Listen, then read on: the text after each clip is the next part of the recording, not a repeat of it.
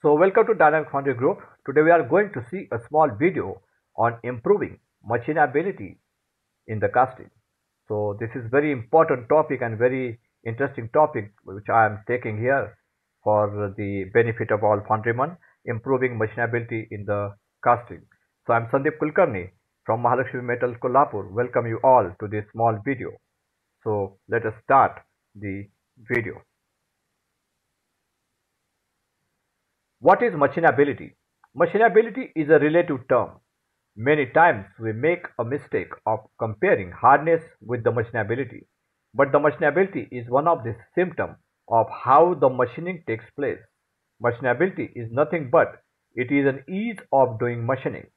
Many times we say for so and so hardness, machinability may not be a problem or issue, but in some cases it is not applicable as machinability is not every time directly related to casting hardness. What is machinability? We know there are many grades in cast iron and ductile iron. So let us take two grades here, SG iron 400 by 15 and SG iron 700 by 2. In grade 400 by 15, hardness range is 130 to 180 BHN, whereas in grade 700 by 2, the hardness range is around 270 to 330 BHN. So here we have to machine casting from 130 BHN to 330 BHN. So theoretically we have to machine part right from 130 BHN to 330 BHN as well. Here we need to use the separate tools and the different machining setup to machine these parts.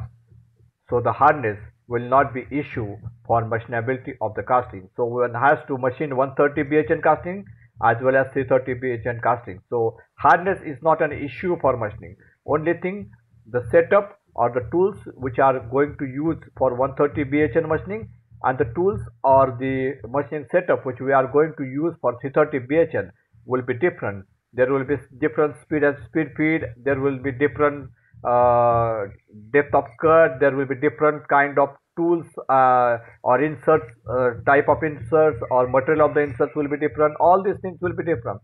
But practically and theoretically one has to machine 130 bhn as well as 330 bhn so hardness is not an issue for machinability. Now we are going to understand when we should say there is a machinability issue or machinability problem. So this is very important to understand when the tool life or insert life is less than normal, you can say it is a machinability issue. When you can find serrations on the surface of the machine part, you can say there is there should be a machinability issue as well. When you when the dimensions accuracy cannot be met and you are not able to achieve dimensions in given tolerance, there should be a machinability issue or there may be a machinability issue. When the tool is not able to machine the casting as per desired speed feed to get desired or required output, you can say there is a machinability issue. Boring chips are purple black in color or burn type uh, boring chips are getting generated, you can say there may be a machinability issue. When machine surface is lightning white in color, you can say there may be a machinability issue. Microstructure showing carbide in the matrix you can say there is a machinability issue as well. So these are the various uh, we can say conditions where you can say that there may be some machinability issue and you can start uh, you can say observing the factors observing the things and you can start investigating the matter. So let us see on which factors machinability is depending on. So machinability can depending on chemistry and alloy elements. It depends on trace elements. It depends on cooling rate. It depends on matrix. It depends on inoculation practice and effect. It depends on involvement uh, of virgin uh, material or metal in the charge mix. It depends on the casting section thickness. It depends on pouring temperature and cold metal. It depends on depth of cut and speed feed. It depends on quality of inserts and it depends on various types of inclusion. So let us start uh, seeing one uh, one by one factor independently. So let us start with chemistry and alloy elements. Here the percentage of carbon and silicon plays an important role. Too less carbon and silicon will make casting hard and brittle which will give toughness to the metal, reducing machinability of the casting. Also keep manganese and chromium on optimum size as their, these elements will hamper the machinability of the casting as well. Especially presence of presence of highly percentage of chromium will give rise to carbide which are difficult to remove even in heat treatment and can give you machinability issue. So uh, you can get all this data in uh, further slide as well. So we can go to trace element. There are many trace elements which forms carbide in the metal which affects the machinability. Such type of trace elements which are difficult to arrest even with spectrometer can give this poor machinability issue. So I am uh, showing some of the trace element or some of the element which are affecting the machinability which are which, which, which are carbide promoter as well. So cerium is one, lead is there, uh, molybdenum is there, tellurium is there, manganese, chromium, magnesium. So these are some of the elements which are available in the in your CRC or in, in your scrap or in, in your MS scrap or in, in your uh, you can say returns and these elements will uh, give you issues of uh, machinability because it forms uh, or it has a tendency to form carbide. So they are carbide promoters and they can hamper your machinability as well. So next thing is cooling rate. Cooling rate is also plays an important role in achieving good machinability. Fast knockout that is speedy cooling will reduce machinability and hence it is important to give enough time for casting to get cool. Approximately 45 to 90 minutes are more preferred cooling rate for the casting up to 75 kg. Further, with increase in section thickness, the weight of the casting, the cooling rate needs to be increased to get better machinability of the casting. So for you can say up to 75 kg, uh, around 45 to 90 minutes, that is around 1 hour to 1.5 hours is a preferred cooling rate for the knocking and about that you have to increase uh, the cooling rate for bigger casting as well. So cooling rate will uh, decide your machinability as well because the faster cooling will give rise to uh, formation of carbide it will uh, harden your surface uh, area or surface uh, layer of the casting and the machinability at that particular area that is the surface area surface portion of the casting would get disturbed and you will not able to get uh, smooth machining or you can say proper machinability for the casting. Matrix. Basically why this is machinability is lower in uh, basically why this machinability is lower side in the casting. One, one of the reason or major reason of is the matrix that casting microstructure. The normally casting is getting solidified at expected to form either ferritic or pearlitic or mix of ferritic pearlitic matrix. But sometimes due to fast cooling, chemistry or some other reasons, what happens is along with these two ferritic and pearlitic structure, nucleation also forms carbide which is combined carbon that is FeC3. Ferritic is a free carbon, here hardness is on lower side, whereas pearlitic is a state of free carbon and combined carbon which is having more hardness than that of free carbon or ferritic structure. But carbide is nothing but combined carbon which is having high hardness and which makes casting difficult to machine. So combined carbon means carbide whenever has uh, formed in your casting it is very difficult to machine. So it is very important to avoid carbide formation as we already seen in last uh, slide you has to uh, avoid the trace element or uh, the elements which are uh, carbide promoter in your chemistry. You have to uh, keep them as lower as possible so that your machinability will be better. So you have to focus on ferritic and pearlitic uh, matrix and try to avoid the carbide matrix. So these are the pictures some of the pictures where you can see the whitish portion on my uh, right side. On my left you can see the cut that is very uh, serrations during machining which, which shows that the machinability is not good. So the tool marks are there.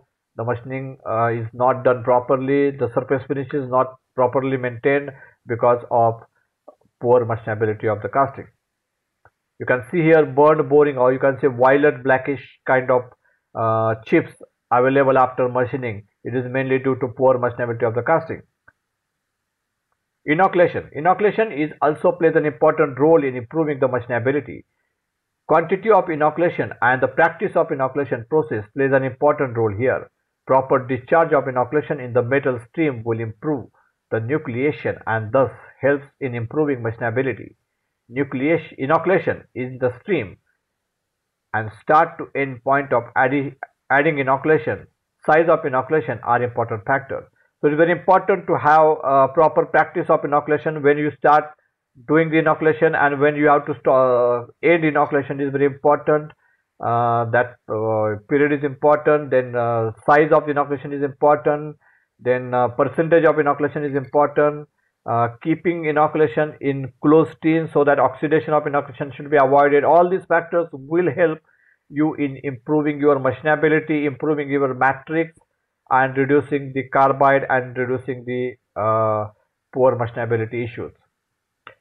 Sometimes some special elements which are promote the ferritic structure and improves nucleation can be added to get better machinability to, uh, by avoiding carbide formation. Apart from this, Many times, multi-stage inoculation plays an important role in improving machinability of the casting.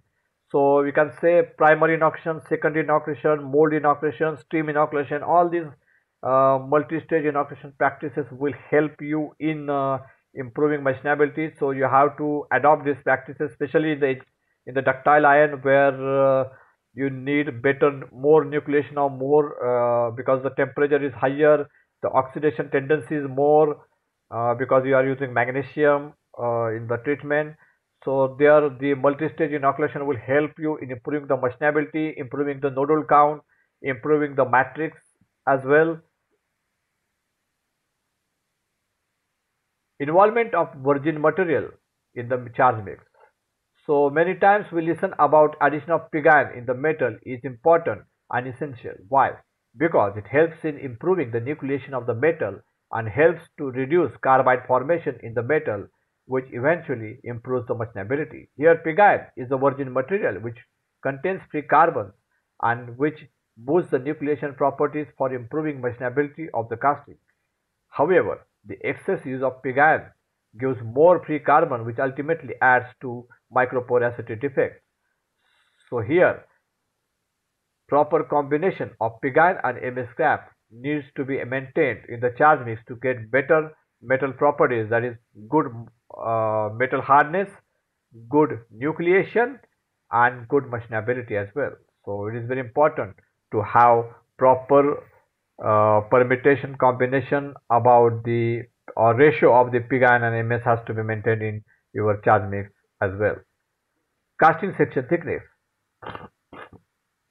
Casting section thickness is important criteria in solidification of the casting.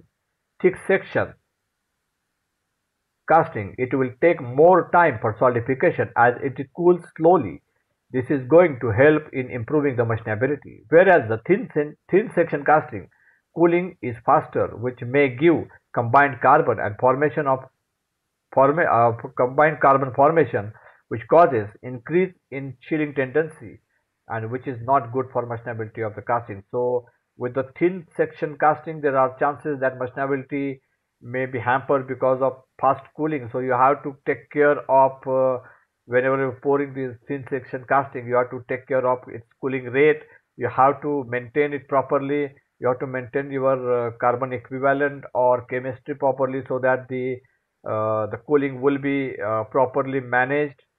Uh, whereas thin section casting, uh, whereas thick section casting, where the section thickness is high, heavy you can get solidification uh, trend properly and you can see that the machinability is better in that in those uh, thin thick section casting as compared to thin section casting. So you have to take care of uh, proper inoculation proper chemistry proper charge mix in thin section casting. Uh, of course the cooling rate as well in thin section casting to get uh, good machinability good quality of casting as well hence knowing the casting section thickness is important and based on that you need to adjust your alloying chemistry charge mix that is combination of ms and pig iron and temperature to maintain desired cooling rate for improved nucleation properties so it is very important Next is pouring temperature and cold metal. Pouring temperature and cold metal feeding also hampers machinability. Hence, it is important to remove the cold metal from the system. Also, the, uh, the importance to maintain desired pouring and tapping temperature based on casting section thickness to get desired nucleation and matrix properties to avoid poor machinability in the casting is also important. Depth of cut and cut, speed and feed. Many times when we talk about machinability, we talk on about the foundry related parameters only. However, there are few parameters which are also related to machine shop which hampers the machinability even though casting or foundry related parameters are okay. One of them is depth of cut and speed feed. Many times machine shop person try to get more cut to, uh, to get more output of the machining per machine per shift. For that, he gives more depth of cut with, high, uh, with higher speed and feed. Due to that kind of uh, serration and are appear on the casting surface and the dimension accuracy get disturbed. So one has to keep uh, optimized the depth of cut as well as speed feed to get uh, good quality of machinability.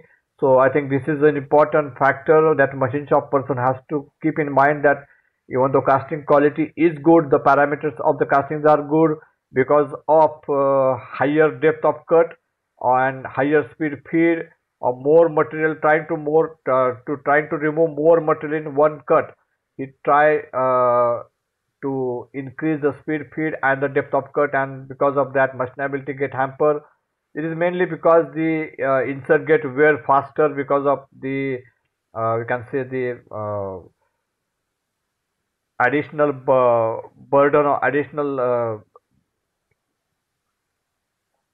uh, additional uh, we can say uh, potential come on the uh, tool or additional potential come on the insert. Because of that additional load come on the insert that uh, wearing of insert will be faster and then de definitely the machinability will be issue for further casting. So it is very important to maintain proper or optimized depth of cut and speed feed as well. Due to higher speed feed, sometimes the sharpness of the tool gets worn out faster, which makes next pass machining difficult due to less sharpened tool. Here the fre frequent sharpening of tool is important and required. Surface finish of the machining surface will be bad and not meet desired customer specific requirements for machining surface finish if the sharpening of tool is not done as per uh, on time or as per uh, we can say desired frequency. Hence, it is important to optimize depth of cut, speed feed based on hardness of the casting, grade and alloying and the customer's surface finish requirements. Quality of inserts. As I already mentioned before, casting of hardness 130 to 30 has to be machined. So 130 to 330 BHN has to be machined. So it requires separate kind of tooling and inserts as well. Here the tooling and inserts required for are different for 130 BHN and for 330 BHN. So one has to select a right type of inserts with good quality control on the same that is life of the insert, dimension, accuracy etc. for improving machinability of the casting as well to get desired surface finish of the casting. Resharpening frequency of the inserts has to be decided and monitored. Inclusions Any type of inclusion like sand, slag or surface defects can reduce your machinability by re reducing sharpness of the tool insert which, uh, while machining. Hence, defect-free inclusion-free casting will always give you better machinability at the end of the day. Hence, it is important to use filters, removal of slag by adding slag removal powder, etc to get inclusion free casting and to improve machinability of the casting as well.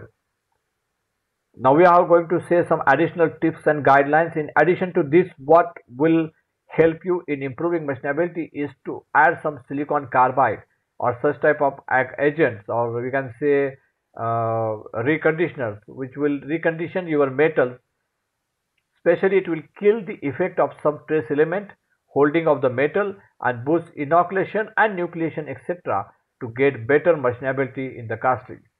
It will also help you in increasing the uh, we can say uh, nodal count and flex size as well. Stream or mold inoculation also helps in improving the machinability by providing better and late nucleation to reduce formation of combined carbon and by promoting free carbon or ferritic structure as well.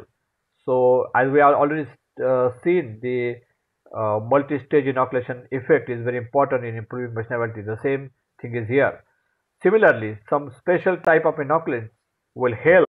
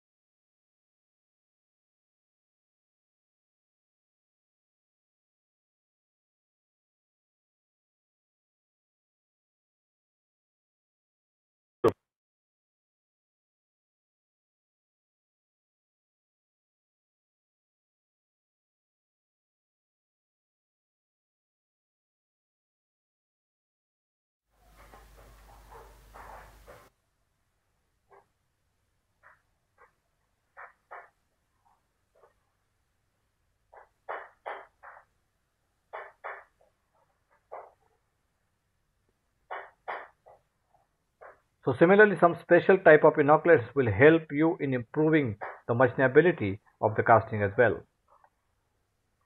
So thank you very much from my side and hope you have understand the importance of machinability and the factors which are affecting the machinability as well. So thank you very much for patient hearing and hope you, you have enjoyed this video as well. Thank you.